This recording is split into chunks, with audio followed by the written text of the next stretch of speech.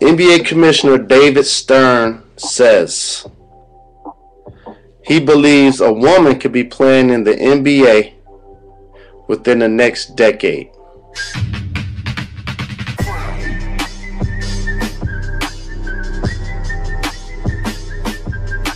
Do you guys think a woman could ever play on an NBA roster? Maybe a freak of nature just walks onto an NBA team one day? Well, is it even fair for a woman to play in the NBA? Let me know what you guys think down below. Anyway, let's get on with the video. Since the start of the NBA, every roster has been filled with men. There's been just under 4,000 players to ever play NBA since 1964. The common conception is that no woman has ever played on an NBA roster. But what if I told you that isn't true? Denise Long was born in 1951 in a small town near Iowa. The 5'9 prodigy had a solid high school ball career, scoring over 6,000 points. If you guys don't understand how crazy that is, LeBron James, one of the best high schoolers ever, scored only around 2.5 thousand points in high school. And yeah, I get what you guys are going to say. It was women's ball and it was way back in the 1960s. Don't worry, I'm not trying to compare what she did to what LeBron did, but you just got to give credit where credit's due. She even managed to average 69 points in a single season and dropped a casual 111 points in one game.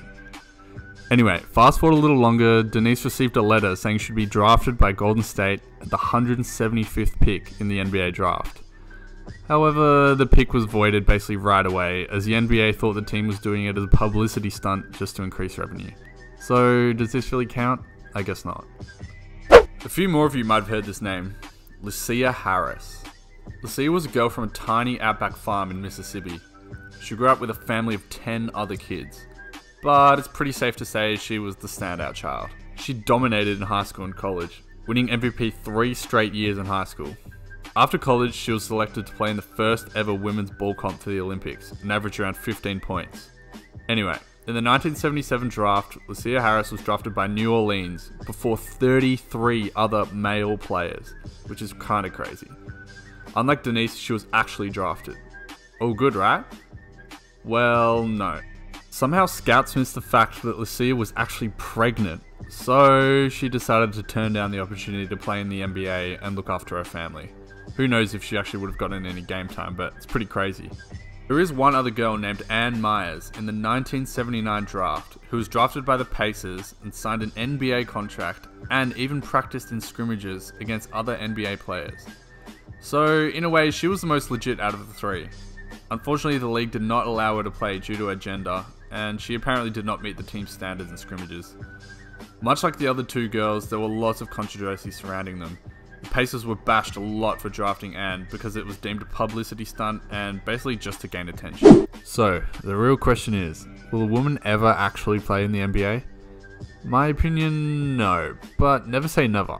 I think we can all agree that the commissioner is a pretty awesome guy and is always willing to do something to go outside of the box when it comes to running the league. But if you think about it, players like LiAngelo Ball, who are actually pretty decent players, can't even get a game on any NBA teams. Think about the amount of publicity teams would gain just by putting him on their roster, even if he only played one minute of the game. My guess is that he would at least sell a couple extra thousand tickets, but teams are still not willing to gamble on him.